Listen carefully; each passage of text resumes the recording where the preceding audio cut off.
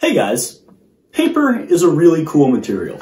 It can be flat in varying degrees of thickness, it can be rigid as cardboard, it's strong, it's flexible, it's organic, and in most of its forms, it's recyclable. But it's still always flat.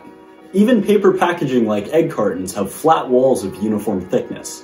But it doesn't have to be this way, and in this video I'm going to show you how you can use a vise, a blender, and a 3D printer to turn this cardboard into almost any shape that you could imagine. So, recycling generally works by separating the cellulose fibers in paper using water and physical processes, making a pulp. This pulp can then be used to make new paper products.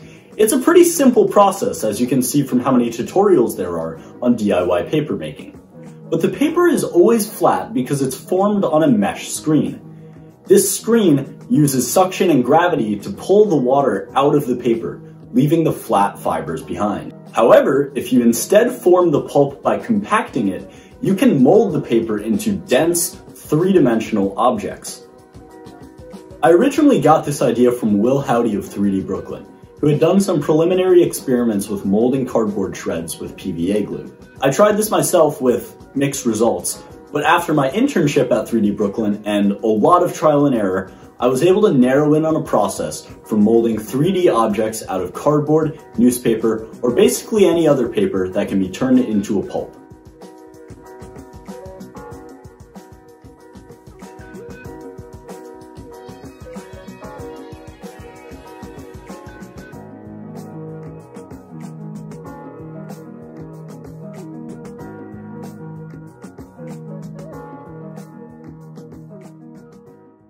Process works by taking the wet paper pulp in a water-soluble binder material and compressing it on one axis in a 3D printed mold. Most of the water gets squeezed out in this process, leaving behind the paper fibers tightly bound together with the binder. If you're still watching at this point, chances are you want to learn how to do this yourself. So let's dive right in. The first step is creating a mold. The mold's job is to take the high volume pulp and compress it down into the desired form. My first paper molding experiment was this two-part disc mold. This had two main issues. The paper pulp shrinks dramatically when you compact it, because about half the volume of it is water. As a result, the press needs to have a long range of motion in order to hold all the uncompressed pulp that it needs. Secondly, with a two-part mold, it's hard to remove the finished object after molding. So I settled on a generic three-part mold design, consisting of a base, an interlocking, perpendicular, and straight wall, and lastly a press tool that can slide freely inside the wall. I have much more detail on this in my Instructables guide. On the Thingiverse page, you can download the files for seven different designs. The disk, cube, triangle mesh, sine wave, topographic map, dish, and desk organizer. On the note of 3D printing, these molds need to be extremely strong to withstand the pressure of molding, and will break if they're not strong enough, so crank up the infill and shell counts on your prints. Once you have your mold, you're ready to make the pulp. Cardboard, newspaper, white paper, food clamshells, egg cartons, and more can all be made into pulp. The only kinds of paper you want to avoid are glossy paper and papers with plastic coatings.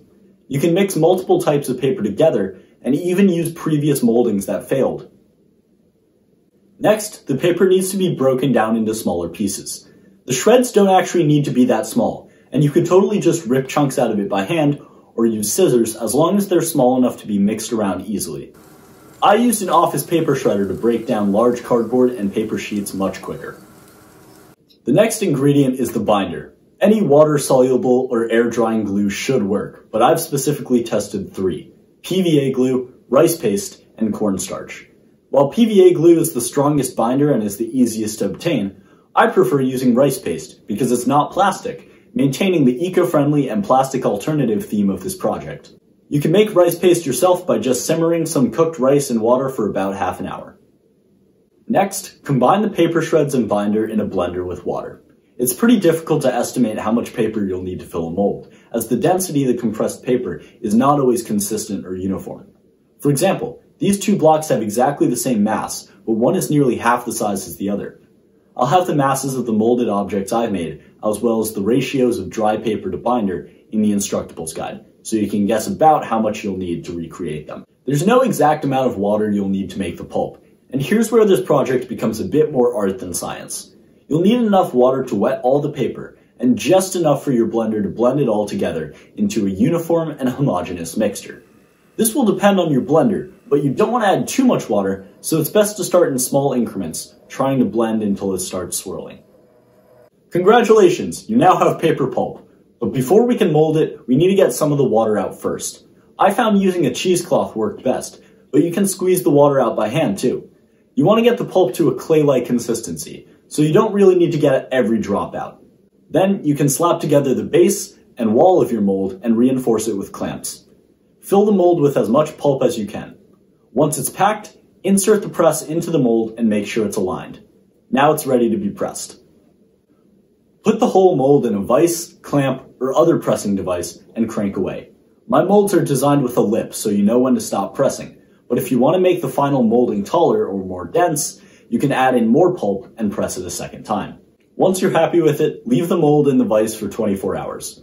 After that, you can open up the vise take out the mold, take off the clamps, and use a screwdriver to lift off the pressing tool. If all went according to plan, you should be met with a slightly damp surface of molded cardboard.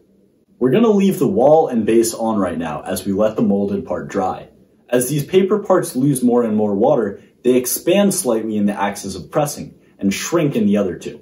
It's hard to predict how much a molded part will shrink by, as it seems to depend on how densely the fibers are packed, which in turn depends on the size and geometry of your mold. After a day or two of drying, you should be able to detach the base of the mold easily and be able to push the part out of the wall. You might need to use the press piece to help do this. Then you have to let it dry for a bit longer. Try to put it on a flat surface so it doesn't warp, and put it next to a fan or vent to speed things up. The last step is to trim off flashing where pulp squeezed in between the mold. Snips and scissors should be able to cut these easily. At long last, your paper pulp object is complete. The final material is very unique to say the least. It has an almost marbled look and the layer lines of the 3D print actually transfer to the surface of the part. It's extremely rigid and tough, and feels like something in between plastic and a very light wood, which I guess makes sense given that wood is cellulose held together by a binder material, which is exactly what we made here. Just like wood, the material can be sanded pretty easily with high grit sandpaper to smooth or flatten areas, and can even be drilled kinda cleanly. The parts are pretty strong and definitely can't be broken by hand. I haven't done any quantifiable tests of the strength, but I did hit one of them with a hammer a bunch of times. So, uh, yeah.